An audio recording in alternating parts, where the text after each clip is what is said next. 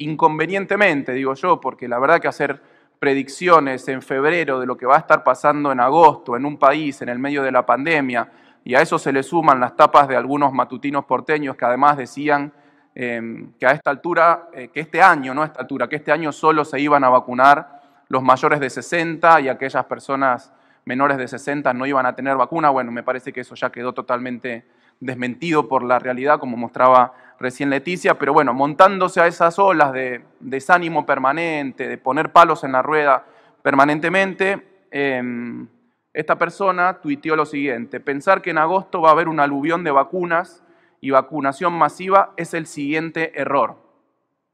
En agosto vamos a estar con hospitales llenos de pacientes y volviendo a preguntarnos por qué. Guarden este Twitter, yo lo guardé,